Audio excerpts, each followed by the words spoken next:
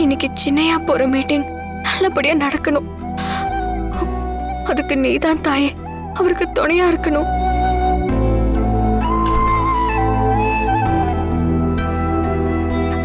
சின்னையா?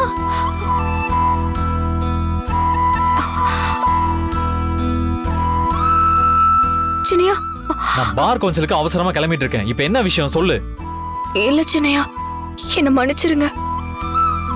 நான் எதுவுமே வேணும்னு பண்ணல சின்னையா. சரி விடு துர்கா. அதான் அம்மா புது ஷர்ட் எடுத்து கொடுத்துட்டாங்கல்ல. நானும் அந்த டென்ஷன்ல ஏதாவது உன்னை கத்திருப்பேன். நீ எதுவும் பெருசா எடுத்துக்காத. இன்னைக்கு எனக்கு ஒரு முக்கியமான மீட்டிங் இருக்கு. அதனால தான் நான் அவ்வளோ டென்ஷன் ஆகி ரியாக்ட் பண்ணேன். ஆ இல்லைனா நான் இந்த விஷயத்த நார்மலாக தான் விட்டுட்டு போயிருப்பேன். சின்னையா என்ன இருந்தாலும் தப்பு ஏன் மேலதான். ஒரு முக்கியமான விஷயம். எதுவா இருந்தாலும் சீக்கிரமா சொல்லு துர்கா.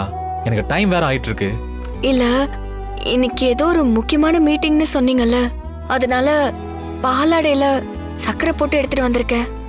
எந்த ஒரு நல்ல காரியத்துக்கு கிளம்புறதுக்கு முன்னாடி இது சாப்பிட்டு போனா எல்லாமே நல்லபடியா நடக்கும்னு பெரியவங்க சொல்லிருக்காங்க போறது எந்த காரியமா இருந்தாலும் அது வெற்றியா முடியும்னு சொல்லிருக்காங்க நீ உண்மையிலேயே எல்லாம் தெரிஞ்சுதான் பண்றியா இல்ல தெரியாம தான் பண்றியா?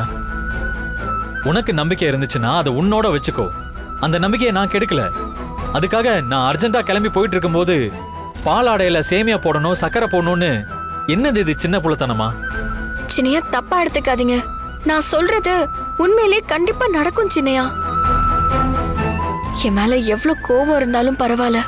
எனக்காக இதுல இருந்து ஒரே ஒரு ஸ்பூன் மட்டும் எடுத்து சாப்பிட்டு போங்க சின்னையா. சாப்பிடுங்க சின்னையா. சரி இதுதான் உனக்கு ஃபர்ஸ்ட் அண்ட் லாஸ்ட் இதுக்கப்புறம் இதே மாதிரி எப்ப பார்த்தாலும் என்ன டார்ச்சர் பண்ண கூடாது புரியுதா?